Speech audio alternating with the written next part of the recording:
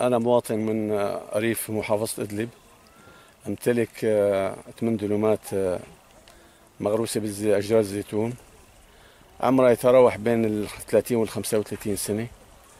آه، عم تحمل إن شاء الله يعني كل سنة سنين تحمل أكثر من سنين يعني. والسبب إنه ما عم نحسن نقدم لها خدمات مثل أول. يعني سقية وبعدين المطر قليل. آه، عم نحاول نركب طاقة على النبير مركب عليه مولدة بدها مازوت وبدها تصليح. عم نسعى لتركيب الطاقة ما عم نلاقي إمكانيات. في إمكانيات ثانية آه، كمان غير متوفرة بالنسبة للبخ المبيدات الحشرية. بالنسبة للفلاحة ما عم نحسن نقوم بالفلاحة كما يجب. من هيك عم تص... بيصير الموسم ضعيف.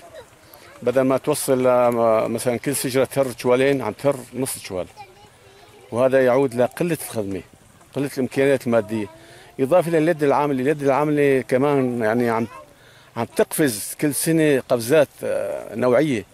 كنا ندفع 300 ليرة هلأ صرنا ندفع 1500 ليرة على أجرة الفاعل.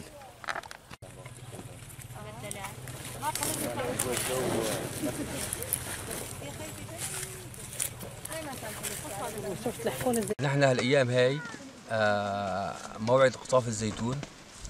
وعم نجي نقطف زيتون. هذا يعني صار له أول يوم أو ثاني يوم والاستطلاع فوق منا الاستطلاع فوق منا هلق لسه ما ما تركتنا من الصبح لهلق.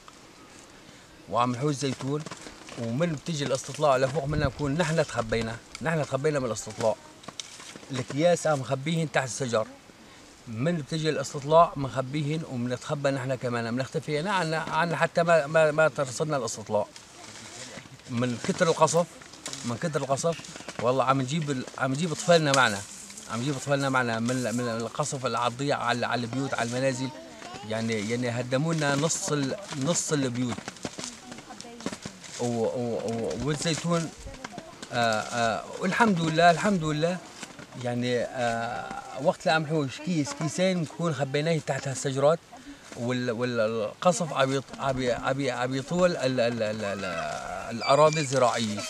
الشجر الشجر كله يعني يعني, يعني أغلبيته آه مخصوص من كثر القصف. نحن مصدرنا الأساسي مصدرنا الأساسي هو اقطاف الزيتون. هذا هو هذا هو موردنا الأساسي. وهلق هلق موسم الزيتون.